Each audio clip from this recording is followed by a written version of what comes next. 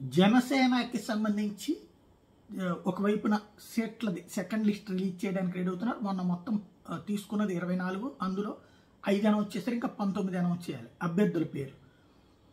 అసలు సీట్లు ఏంటన్నది కూడా తెలియాలి. ఇప్పటిదాకా వినబడుతున్నటువంటిది అయితే అవనిగడ్డ విజయవాడ వెస్ట్ గుంటూరు వెస్ట్ అని. కానీ గుంటూరు వెస్ట్ ఆల్రెడీ తెలుగుదేశం అభ్యర్థి మాధవి ప్రచారం చేసేసుకుంటుంది కాబట్టి ఇక ఆవిడని కాకుండా మార్చే ప్రసక్తి లేదు. మరి విజయవాడ వెస్ట్ ఒకటి ఇంకా కనబడుతుంది అవనిగడ్డ కనబడుతుంది. అట్లాగే ఏదైతే తిరుపతి ఒకటి కనబడుతుంది. తిరుపతికి సంబంధించి స్వయంగా పవన్ కళ్యాణే పోటీ చేస్తారు అన్నది ఇంతకుముందే మనం మాట్లాడుకున్నాం.